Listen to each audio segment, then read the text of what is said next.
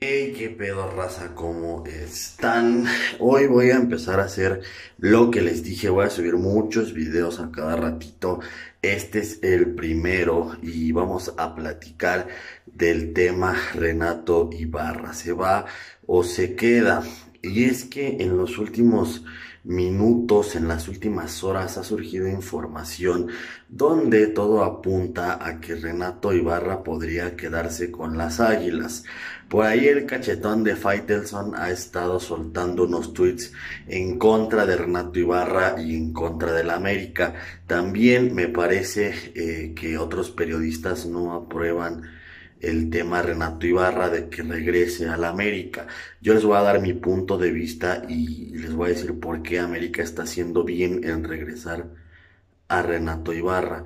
En primer lugar, a Renato Ibarra pues no se le comprobó al 100% que, eh, que agredió a Luceni Chala, su expareja. Aquí me parece que Renato Ibarra eh, hace muy bien en sacar este video pidiendo disculpas, explicando su versión, porque nosotros queríamos eh, escuchar las dos versiones, pero vivimos en un mundo donde, ya se los dije muchas veces, si el hombre es acusado por una mujer, no va a haber duda, o sea, te van a madrear, te van a agarrar, te van a llevar, el, por el simple y sencillo hecho de que una mujer te acuse de que la tocaste, de que la viste, de que la agrediste, eh, todos somos como que doble moral, ¿sabes? Porque ya se los dije, las mujeres exigen igualdad, exigen respeto. Y si un hombre está molestando, le está pegando a una mujer en la calle, ay, es que la mujer es débil, es que pobrecita, vamos todos encima del golpeador, del agresor, vamos, vamos a, vamos a ayudarla. Y si un hombre está siendo agredida por una mujer, yo no veo que ninguna mujer se pare o que ningún hombre se pare y que diga, ay, ya déjalo en paz, o sea, pobrecito, no, o sea, es un pendejo, es un dejado, eh, qué chingona la chava, o sea, tan pendeja tenemos y tan podrida tenemos así la mente de que la sociedad piensa así. Entonces, por ahí John Softly había soltado de que a Renato Ibarra le habían puesto un 4 para sacarle dinero y yo no lo descarto porque las mujeres amigos son muy muy cabronas, o sea, en general, yo no digo que todas, pero en general todas tienen esa ¿cómo decirlo? Esa maldad integrada, si es que se puede llamar así.